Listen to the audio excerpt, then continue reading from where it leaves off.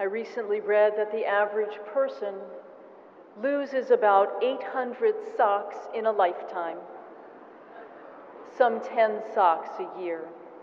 Now, according to my husband, that is a ridiculously low, no, low number, and I can attest without reservation that he is above average. Where socks end up and how they get there is another matter entirely along with the question of just what one does with a single sock.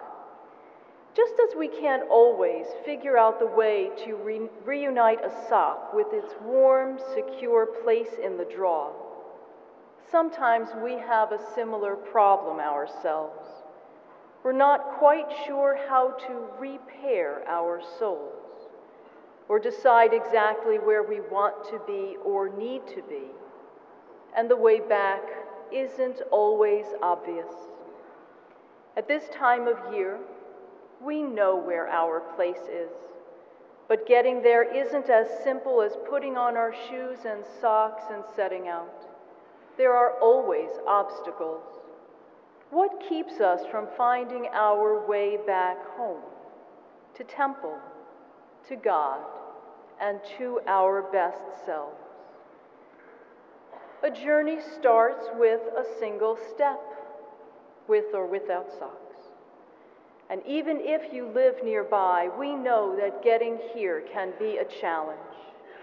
That has nothing to do with what I call the wedding rule that those who live closest are always the latest to arrive. Instead, it's the spiritual challenge to bring ourselves to the day. Teshuvah is the journey home. The word shares a linguistic foundation with turning, returning, repentance. And while it's meant to be a process which takes place over time, beginning as early as a month before Rosh Hashanah, as with so many things that are difficult, Teshuvah is just as often compressed into a single day. The pervasive attitude, we're here now, let's get this done, reflects that. But for a process that requires planning and participation and effort, results vary. And the emphasis on perfect repentance, an expression which threads through our prayer book carries with it the pressure of a perfect test score. A tall order. Is there anyone who measures up to that? In a season of expectations, being judged is never comfortable. And as we all know, our greatest critics live within us. The irony is that we test ourselves. Rabbi Lawrence Hoffman, the great liturgist and scholar, points out a different kind of pitfall, though he saw it through the lens of the Seder. There he notes that while we may begin with the message of the holiday, we tend to expand upon it so much that it can be paralyzing, and it may keep us from putting our words into effect. For so many people, the high holidays feel just like that. They are met by overwhelming expectations which they feel they cannot manage in the time they have allotted. But the task isn't all or nothing, because one step leads to the next. And if we can repair a relationship or begin to identify where we need to change, then what follows will be easier. The rabbis tell of a king who, in a fit of anger, sent his son away from his kingdom to live in a foreign land. Years passed, and the anger subsided.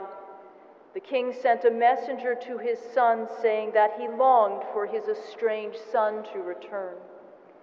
The son sent the messenger back to his father, explaining the hurt remained. The distance was too great. He could not or would not make the journey.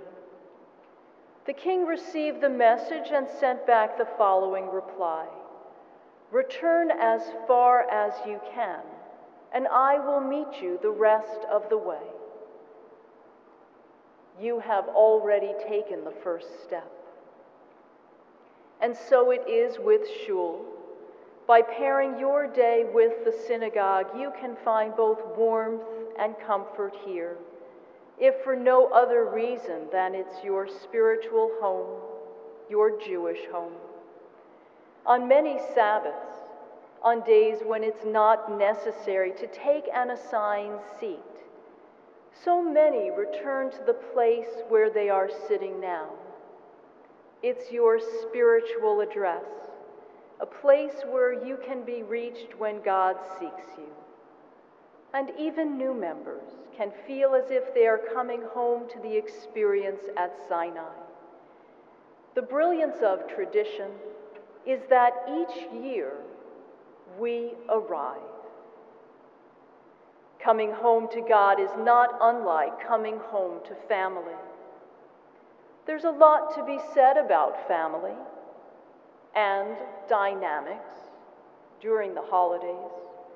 For some, it's a blessing, and for others, not so much. Can be complicated. Remember when you were newly on your own and your parents urged you to visit?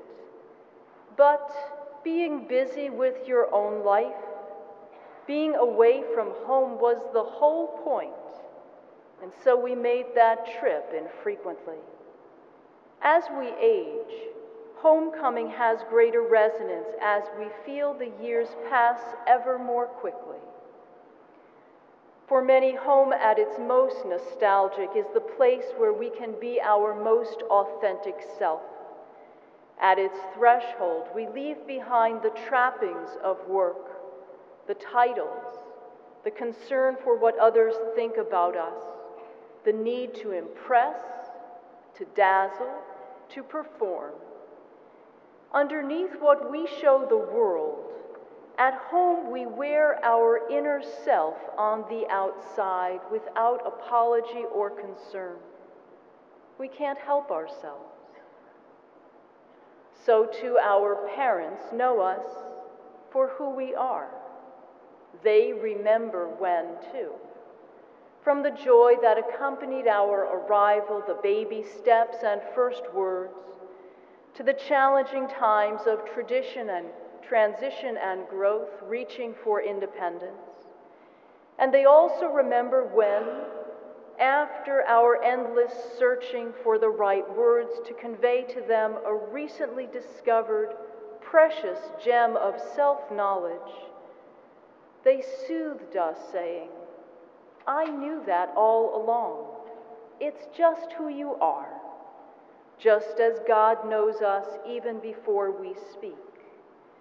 In so many ways, we don't need to explain ourselves to God any more than we need to do so for our own parents, our own family.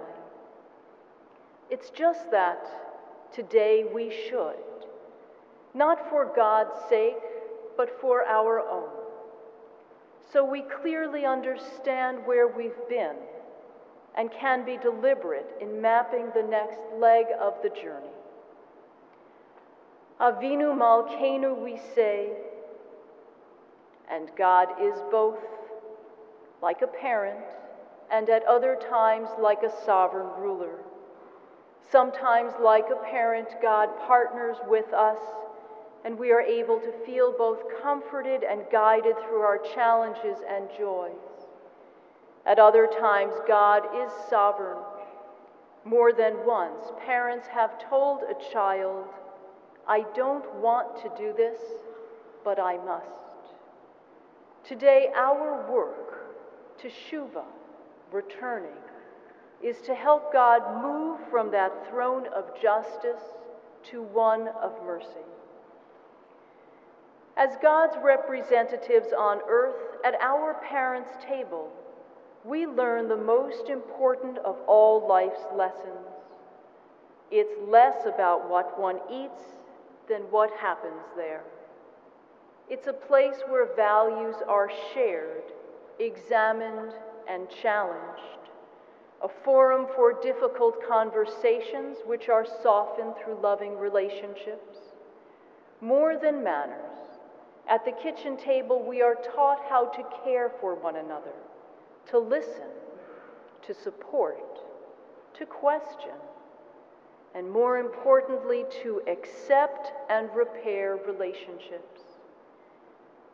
The idealized image is dissipated, of course, when we recall that the same table invited other interactions. Sometimes there were angry words and tears caused by misunderstandings, which cannot be retrieved but are never left to rest. So too, coming home invites childhood rivalries and labels, even now. That's how powerful the imprint of family remains. No one wants to be reminded of their failures, but Yom Kippur gives us the means to deal with it. Pain endures only as long as we fail to acknowledge our own responsibility. But if we've changed our behavior, if we can forgive ourselves, then what others have to say about us no longer matters quite as much. The urge to return, teshuva, is buried deep inside, just as leaving home pushes us to grow in countless ways. Returning shows us how much we have changed. On this day, we are encouraged to come home to ourselves, to the part that we keep deeply hidden, even from ourselves. Almost every visit home includes a nostalgic survey of our younger years, represented by the childhood things that once mattered so much report cards and letters the baseball and Barbie collections, trophies and awards once proudly displayed but have now been relegated to a less prominent place. But our spiritual life is not so neat. There's no attic with our treasures, no drawer with our merit badges and scorecards the only way we can unpack and sort through everything we've left behind this year is to look through the layers one by one. Rabbi David Wolpe teaches repentance is an ongoing process because no one moves flawlessly through the world. Even at this hour, despite the bright boundary line for repentance that Yom Kippur draws. There are things that we did not get to check off our list, people we meant to call, and things we failed to face, maybe because we thought we could put it off again. When we say Al Chait as a community, it functions not only as a confession, but as an organizer. For the sins we have committed by stress or through choice, by disrespect, by evil meditations of the heart, by abuse of power. With a spiritual checklist, it's easier to remember what we have done and what has been left undone. Our work then really starts now, after Yom Kippur. Now that we have clearly identified all the dark places and accepted the fact that there are still amends to be made. Teshuvah tells us that we can turn, return, repent at any time we need not wait only for Yom Kippur. Tomorrow and every day thereafter, we can work on what we have learned about ourselves here, today, now. Every day can be a mini Yom Kippur because when tradition takes the measure of us, we are seen through our behavior and deeds by how we act in the face of challenging circumstances. This year, let us pair ourselves more closely to the things that matter to us. We can come home. On Yom Kippur, there is no truer statement than God is waiting for us to come home. Rachel Barenblatt, a poet and rabbi, helps us envision God as a parent waiting for her beloved children with all their flaws to come home to her embracing love. Here is an excerpt. God sits in her kitchen with her gnarled hands folded. She doesn't needlepoint much anymore. She's waiting for us to knock. We always forget the door is always open. God remembers when each of us was born. God remembers when creation was born. God remembers every child she has lost. God remembers every time one of us has been unkind. Each night she lights memorial candles across the heavens, our souls remembered across the sky. God wants to say, it's okay that you didn't write. It's okay that you didn't call. You stayed away because you didn't want to disappoint me. You could never disappoint me. Do you know I still love you? How often do we sit here in shul reciting prayers we didn't write, signing postcards and dropping them in the mailbox instead of coming home? God is waiting for us to come home. The door is always open. Gemar Chatima. May you be sealed into the book of life with blessing.